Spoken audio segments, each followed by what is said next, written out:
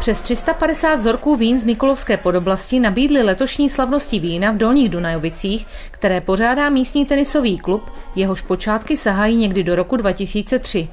Tenisový klub je zejména líhní nových malých talentů, kterých je v klubu okolo 50. A právě pro ně se slavnosti vína konají. Proto jsme tady po 22. Tady ty slavnosti nepořádají vinaři, ale tenisový klub. Jak se to tak stalo, že tenisový klub je pořadatelem slavností vína? No, ono je to dáno tím, že i tenisti jsou ve velké míře i vinaři a tím, jak jsme se dali dohromady po té sportovní stránce, v minulosti ještě většina z nás hrávala fotbal, pak jsme se spíš směřovali na ten tenis, tak protože máme všichni tomu vínu nějak blíž, tak uh, slovo dalo slovo a vlastně ta akce před těmi 22 lety byla asi jedna, jedna z mála tady v tom okolí a, a docela se povedla, proto jsme tady už po tolikáté. Pomáhají tady i členové klubu?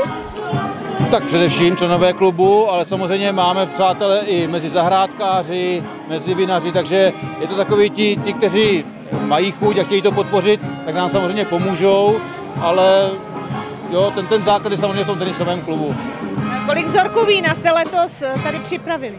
Letos je to přes 350, takže určitě krásné číslo a, a protože se samozřejmě vinaři se chtějí pochlubit tím, co vytvořili v loňském roce, nebo převážně v loňském. Jsou tam občas i nějaké vzorky starší, ale myslím si, že je z čeho vybírat a určitě stojí to si to ochutnat. Máme tady vína e, z Valtic, potom směrem na Hustopeče a z té strany, takže určitě tady toto Mikulovsko, samozřejmě v části taky a v tomto okamžiku bych samozřejmě chtěl velmi poděkovat všem, protože ty vína poskytují zdarma a to je, to je věc, na které to je postavené, protože celý ten zisk a to, to, to, co tady vlastně my jsme schopni vydělat, tak, tak jde na podporu mládeže, protože máme dneska přes 40 dětí eh, v tenisovém klubu, takže je to samozřejmě na materiál, na nějaké dětské kempy, míče, antuku a tak dále, takže to pro nájem hál na zimní sezónu, takže to je ta cesta, kterou jsme se vydali už tehdy a, a stále se nám daří to tak jako držet. Kdo nám dneska tady hraje k tanci a poslechu? E, tak je to kapela Podboranka a jsou z Uhřic jsou tady poprvé, protože když jsme spolupracovali s jinýma muzikama, ale ty už dneska nebo, nebo ne, neměli na ten termín čas, takže jsem se domluvil, mám tam kamaráda v kapele, takže nám vyšli vstříc a už by rádi přišli i příští rok, takže už se domluváme na příští rok znovu, takže tyhle ti nám hodně pomohli.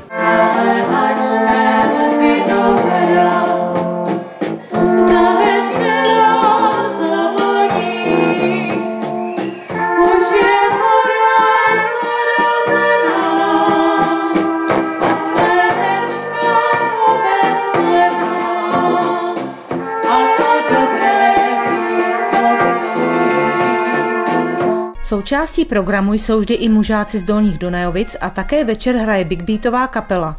Prostě program na celý den, ve kterém si každý přijde na své. Nejenom, že návštěvníci poslouchají muziku, tančí a degustují z široké nabídky vín, ale také mohou ochutnat domácí výrobu pochutin, kterou připravili členové tenisového klubu. Co dobrého jste dneska tady připravili? Tak eh, připravili jsme pro vás masíčko živáňskou. Eh, trošku se nám zadařilo pozbírat trošku víc zeleninky, takže jsme připravili takhle, aby to bylo trošku jiné. Klasická šparkovka to musí být, že? Na, na ty, na ty večerní, večerní siesty. No a potom nějaké koláčky sladké, a ke kávičce, anebo i k tomu vínku se to někdy hodí. Tenisový klub má také podporu obce za to, co pro děti a mládež dělají. Tenisový klub tady má taky velmi dlouhou tradici, takže tak jak všechny spolky, tak i tenisti jsou nedělnou součástí naší obce. No a jak vidíte, tak pořádají tady tyto krásné slavnosti vína, taky už to je 22. rok, takže to už je ukázka toho, že mnoho, mnoho let jejich činnosti. Jak obec Dolní Dunavice podpořila tuto akci? Tak jako u všech spolků samozřejmě ten taneční parket ten je k dispozici a byli jsme požádáni, abychom dali dohromady třeba i tady to pódium, na kterém stojíme. Takže to jsou takovéto drobné věci, ale to hlavní gro samozřejmě je na samotných spolcích, které ty akce tady organizují. Co byste si pro tuto akci na závěr přál? No, kdybychom se mohli vrátit k těm eh, návštěvnostem, které jsme měli na začátku, kdy tady bývalo 700, 800, 900 lidí a, a to by byla krásný, krásný počin pro to, aby jsme ty děti měli podporovat i nadále.